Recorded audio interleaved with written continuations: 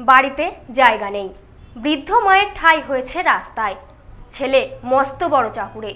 নাতিরাও প্রতিষ্ঠিত। সম্ভ্রান্ত পরিবারে বোঝা হয়ে গেছিলেন জন্মদাত্রী। স্থানীয়দের আক্ষেপ, কোথায় যাচ্ছি আমরা? যে মা নিজের গর্ভে স্থান দিয়েছিল সন্তানকে, সেই গর্ভধারিণী মায়ের স্থান আজ আর সন্তানের ভিটেতে নেই। ছেলে বড় চাকরি করলেও মায়ের স্থান আজ ফুটপাতে খোলা আকাশের নিচে। মমতাময়ীর প্রতি এমন মমতাশূন্য আচরণের চিত্র উঠে এসেছে মুর্শিদাবাদের শামসেরগঞ্জের ধুলিয়ান পৌরসভার তেরো নম্বর ওয়ার্ড ফিল্ড এলাকা থেকে। নব্বই বছরের বৃদ্ধা, নাম তারা সরকার। স্বামী গত হয়েছেন বহুকাল আগে। তিন ছেলে, দুই মেয়ে নিয়েই সংসার ছিল তারাদেবীর। এখন আর সেই সংসারে ঠাঁই নেই তার। বাড়িতে অতিরিক্ত ঘর নেই মাকে রাখার। এই অজুহাতে গর্ভধারিণী মাকে বাড়িতে স্থান দিল না নিজের ছেলে ও নাতিরা। বৃদ্ধার এক ছেলে অনিল সরকার ফারাক্কার এনটিপিসিতে চাকরি করেন।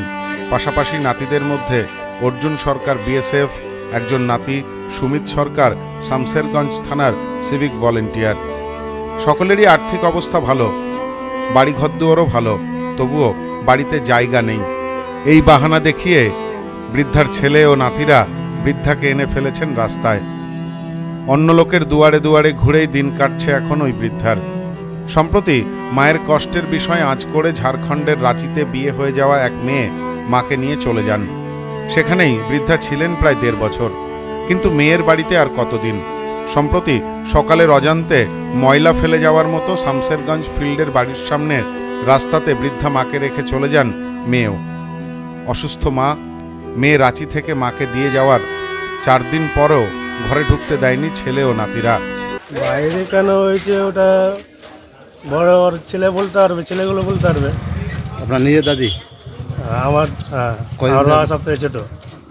পাঁচ দিন থেকে বাইরে রাস্তাতে ঘুমাচ্ছে আমার থাকছে বাড়িতে ছিল ওর মেয়ে বাড়িতে থাকতে থাকতে দিচ্ছেন না হ্যাঁ। দেড় বছর থেকে ওর মেয়ের বাড়িতে ছিল। হুম। ইদানিং চার দিন আগে ওর মেয়ে ছেড়ে পালিয়ে গেছে এখানে।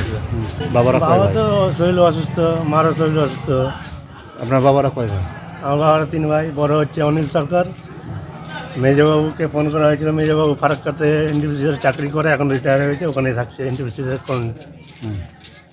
ওর ঘর ছিল ইদানিং মানে কি, জায়গাগুলো মোটামুটি দেড় বছর, দুই বছর আগে ভাগ হয়েছে, দাদুদের জায়গাগুলো। দাদুদের জায়গাগুলো করেছে অনিল সরকারের দিকে একটা, আর যা ভাগ করে নিয়েছে সব আর ছেলেদের ভাগ হয়নি ছেলেদের ভাগগুলো সব অনিল সরকারের দিকে আছে। প্রতিবেশীরা তারাদেবীকে ঘরে ঢুকতে দেওয়ার জন্য ছেলে ও নাতিদের কাছে তাদের রাজি করানোর চেষ্টা করলেও বাড়িতে অতিরিক্ত ঘর নেই।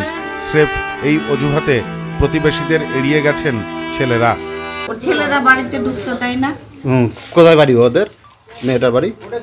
এ তো অনিল সরকার। ও। অনিল সরকারটা ওর ছেলে? ওর ছেলে বড় ছেলে? কটা ছেলে? ছেলে মেয়ে কটা?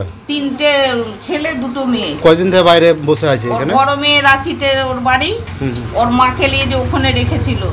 ওর মাকে আর চার দিন আগে এখানে রেখে গেছে।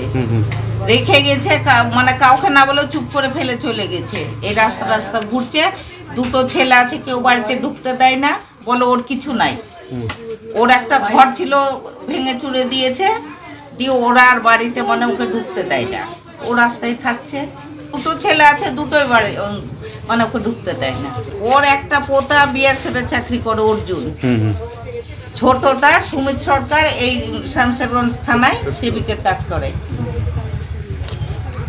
কতদিন থেকে বাইরে ঘুরে ঘুরে বেড়াচ্ছে? আজ চার দিন হলো। চার দিন থেকে? হ্যাঁ। বাড়ির ভিতরে না এই রাস্তায় থাকে যা দয়া হয় সেই খেতে দেয়। গোটা ঘটনায় হতবাক স্থানীয়রা। ছেলের জন্য বৃদ্ধ বয়সে মায়ের ঠাই হয়েছে রাস্তায় খোলা আকাশের নিচে। ঘটনায় হতবাক স্থানীয়রাও। আক্ষেপ জড়ানো কণ্ঠে স্থানীয়দের প্রশ্ন কোথায় যাচ্ছি আমরা? ছেলে ছেলে মেয়ে আছে আপনার? ছেলে মেয়ে আছে? আছে গো আছে।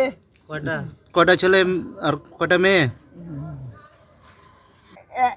একটার নাম ও বড় আছে না? হুম। ওর নাম হলো অনিল সরকার।